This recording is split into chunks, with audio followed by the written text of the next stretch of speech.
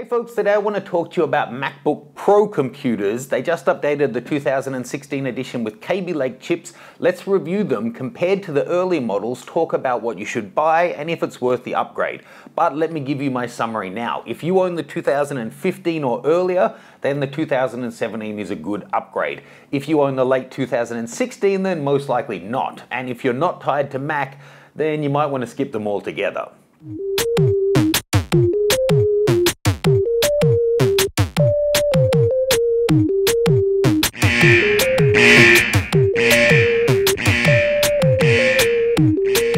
Latest MacBook Pros have unfortunately done away with MagSafe connectors for USB-C. You can overcome this by using Griffin's BreakSafe magnetic USB-C power cable. I use them, they're great. Check out the link in the description below. So, this is a top spec 15 inch Pro with the latest generation Kaby Lake processor. This is a mid 2015 15 inch Retina. It's also top spec 2.8 gigahertz Core i7, 16 gig of 1600 speed DDR RAM, and the Iris 1536 graphics card. In between these two, I actually also had the 2016 top spec Skylake machine just for a couple of weeks. I was actually able to return it the day before the developer conference get my money back and then order one a day later and I saved 100 bucks in the process getting the Kaby Lake processor. So what should you be considering if you want maximum bang for your buck?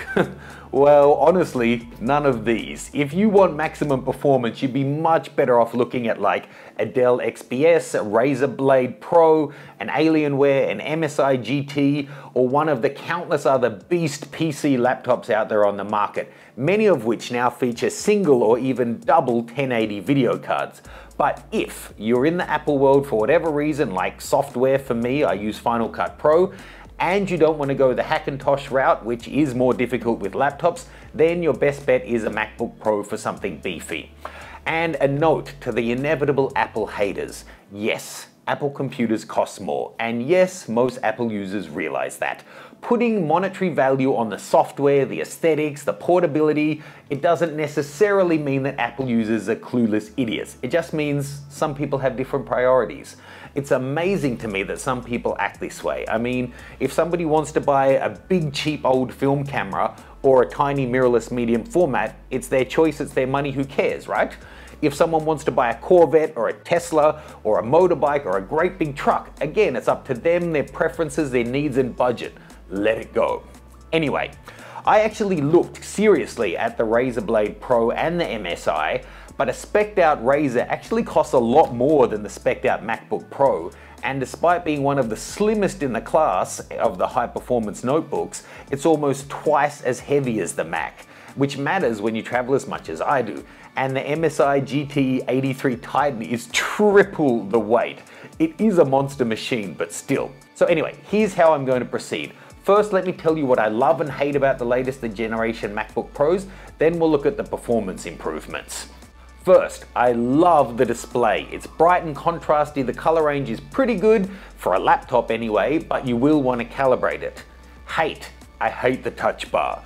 I really hate Siri and it keeps activating her. I generally prefer real keys. I can see the potential of this technology, but in the weeks that I've traveled with it, I didn't find it useful except for the fingerprint ID, which I love. It's a great inclusion. After using it for two weeks, then coming back to my 2015 edition, typing in the password every time was a real ball ache.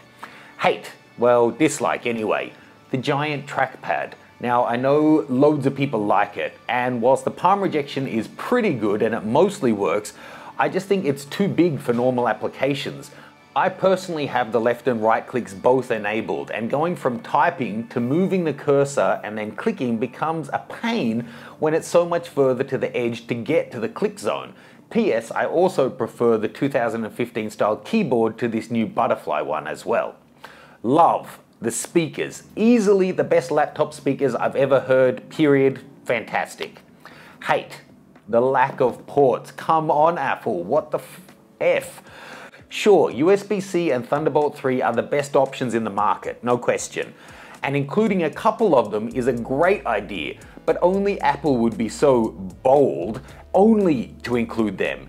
It's like releasing a TV that only has one type of input when you know every other device has a different interface. It means you will need to carry around adapters and hubs. I actually have a video coming on that soon. Love. For what I do, video rendering and photo editing, the new additions are noticeably faster. Final Cut Pro 10 especially seems optimized for the system perfectly, and that alone makes the 2016 and 17 models worth the upgrade for me. Hate the lack of an SD slot. This pisses me off even more than the USB-C to be honest. It's not that I think SD is a particularly pro card format, in fact an XQD reader would be far more handy for me, but having the card reader built in is so helpful for people in creative industries. It means carrying around another adapter and that's totally going to ruin the line of a lot of hipsters' skinny jeans.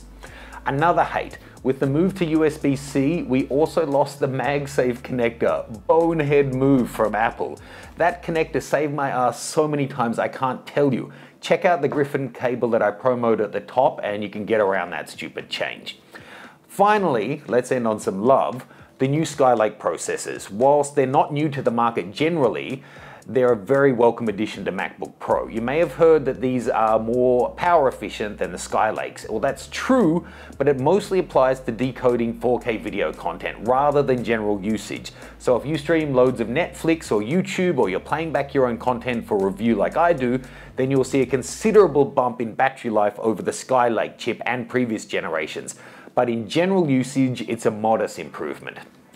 How about the hardware performance? For my first test, I did a simple NovaBench test of the 2017 top spec, 2016 top spec, 2015 top spec, and for reference, my system's custom 2012 mid-range MacBook Pro that he's specced out a little bit. Overall, there's not a huge variation amongst them. The biggest difference was the SSD speed, and the five-year-old graphics card is right up there, surprisingly, on that kind of a test. And you'll note that on this test at least, the 2015 model actually outperformed the late 2016 model with a final score of 1265. But note, just like DxO for camera ratings, you should pay closest attention to the indices that are important for the work you do. The final tally may not really show what it's going to do for you. So that kind of all-in-one testing, it's useful for something, but how about a practical test? To try it, we did, we exported the same 18 minute 4K video file, which was pulling from a variety of different peripherals with loads of video and audio streams on the 2017, 15, and 12 models to test the export time. In this real world, media intensive export test, the new GPU, RAM, and processor really shine. My Assistant's 2012 model took 18 minutes and 26 seconds, not bad and only slightly longer than my top spec 2015 that took 18 minutes and 6 seconds, but the new 2017 top spec only took 9 minutes and 37 seconds. A huge difference, almost twice as fast. Long story short, if you're cool with carrying around a card reader and a USB-C adapter for now, the 2017 model is a great machine, and once Thunderbolt 3 products are in the market, it's going to really shine even more. But if you have a 2016 edition, it's a fairly pointless upgrade. If you're coming from 2015 or earlier, really give it some thought as there are major design changes to consider beyond the simple internal component performance.